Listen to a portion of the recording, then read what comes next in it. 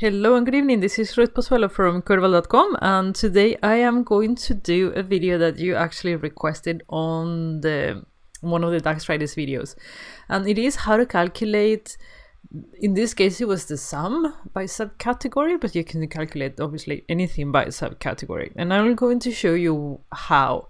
And we will do that with some X with filter and with earlier I have already gone through these functions in detail, so I will not do that in this video, but I will definitely explain how everything works. So you will be able to understand anyhow. If you then want to have more detailed information about just a specific function, just go through the videos. I will link them below and uh, you will be good to go. So let's begin and finish the Friday with the Dax Fridays video. Okay, so these question was asked uh, on this video on parent and child functions where I explain how hierarchies uh, work or can be built into in Power BI and Power Pivot. And um, we have Sharvan Hamid that uh, asked me, okay, how can I find out the sum of number of child IDs per parent ID? And as a this is actually a great video, so why not doing it? And uh, Sharon, I'm going to answer your question now. So hopefully this will make it clear how to make it. Let's begin. Okay, so this is actually the sample file for the parent and child functions um, for the DAX, that, that DAX Fridays video. And uh, what we have here is the parent ID. We have the component ID, and then I show how to calculate the path, you know, so you can see the hierarchy. I show you how to calculate the path length, for example. Um, yeah, all kinds of things. Just if you are interested in this, go through the video. But what I'm going to do today is actually I'm going to calculate, let's say that instead of path length, this is cost. And we would like to know, because we have the cost of every individual component for each parent. So we have one parent here, one parent there, and one parent there. Let's say that we want to calculate the cost based on the price of the components. And this is the, or on the cost, and this is the cost of the components. Just imagine that. So how do we do it?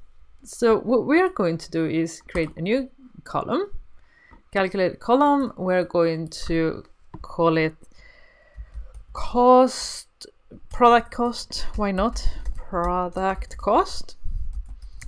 And this is how we will do. We will do, because what we need to do now is to pick only the components or the price for the cost for the components for these and sum, sum them up. We need to pick this up sum them up and pick that up and sum them up. So to do that, we are going to, this is really not how you build it. You will build the filter table first, but we are going to do a sum x on rows. So we will need, a, we're going to do a sum on rows. So we will need a sum x.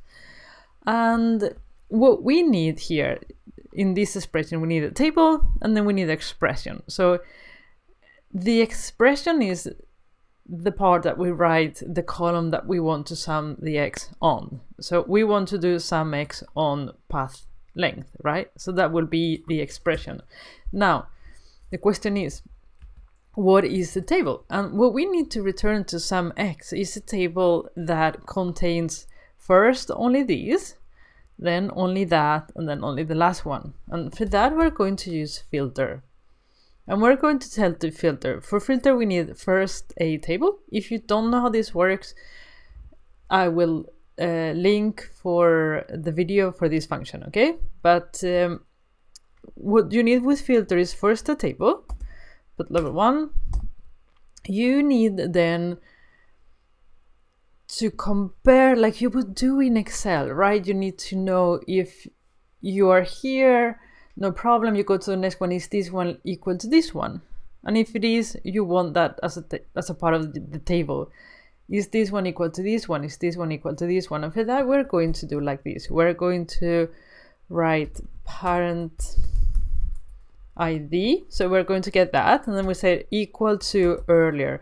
Now, again, if you don't know how Earlier works, I have a very detailed video on that, so make sure you check it out. But it, what this basically is doing is what I explained before. It's just going to the previous one and saying, or to comparing to the current row. Just check check that video. And then it's going to say, okay, are you equal to this? Yes. Are you equal to this? Yes. Are you equal to this? But when it comes here, are you equal to this? No. And then it stops. So it creates this table, if you would say so, virtually. Let's finish that. Now we have the table for MMK 115 slash 1. And when they have the table, what we want, let's finish that, the filter function. And now what we want is to do the sum x on path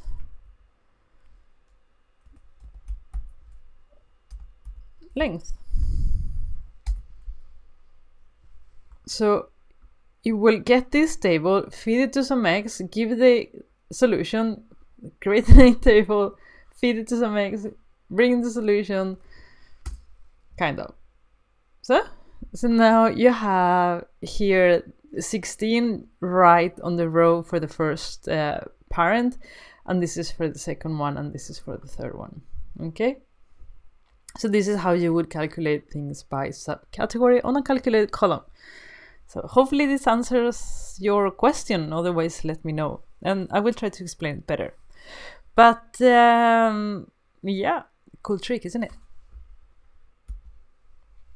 Okay, so now depending where you are on the world, if you're seeing this video, maybe the beginning of your day or the end of your day. Either way, I really wish you a great Friday. If you enjoyed the video, as usual, let me know by liking it. It helps me understand which videos you like and you don't. I can do better content for you guys. Um, share it with somebody that you think uh, should uh, know about these tricks too or wonders. And if you're new to the channel, um, make sure you subscribe because I publish Power BI videos three times a week. We have Power Query, Power BI, and DAX. So make sure you don't miss it. And to make sure you don't miss it, click the bell to receive notifications, okay? Because you will be notified when I publish new content, otherwise, you won't. So um, I'll see you again. I'll try to continue with the Power Query challenge on the weekend, but weekends are family reserved, so I I can't promise. But otherwise, I will see you on Monday. Okay, have a great weekend. Bye.